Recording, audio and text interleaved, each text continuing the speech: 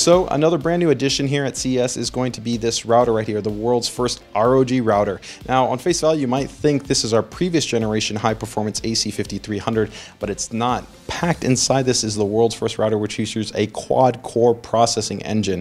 This is an absolutely insane level of performance for a router, but it's there for a reason.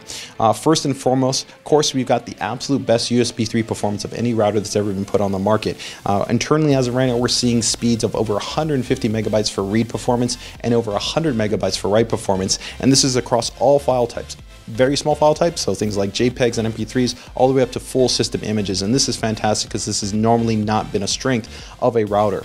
Now, in addition to this, this unit also packs in eight Ethernet ports on this. So you absolutely have an insane level of connectivity to have uh, the highest performance LAN configurations. Now some of the other really cool stuff you're going to have here is of course our complete ASUS router app level of customization and also our AI protection and our QoS and DPI technology. Now to give you some quick insight on what DPI does is we can look at individual packets that are sent across the entire wireless network.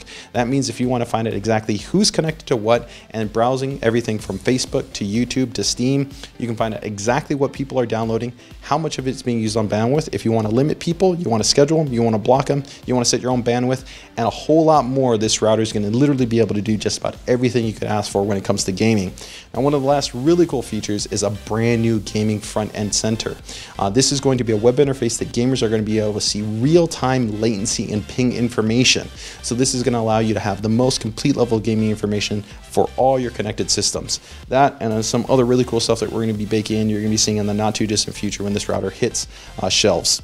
Another brand new addition is going to be this guy right here. This is the ASUS HiveDot and HiveSpot. This is our foray into mesh networking, which has become uh, quite popular in terms of a trend. But like being uh, always ASUS, we're bringing some interesting designs to the table. So we will be the only mesh networking product launching with tri-band support. That means is you get two 5 gigahertz bands, a high uh, 8, 811 AC band and then another standard 5 gigahertz band. This is great because most of the standard devices uh, that are high performance like current generation televisions, smartphones, tablets, and notebooks utilize 811 AC. So we're going to be able to go ahead and complement those devices and then your legacy 5 gigahertz or 2.4 devices will also be able to jump on board.